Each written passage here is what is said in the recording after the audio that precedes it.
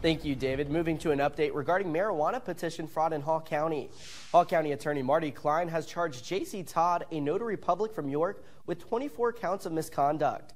Klein says Todd notarized petition pages from Michael Egbert of Grand Island, but did so without the petition circulators being present, which is a violation of Nebraska law.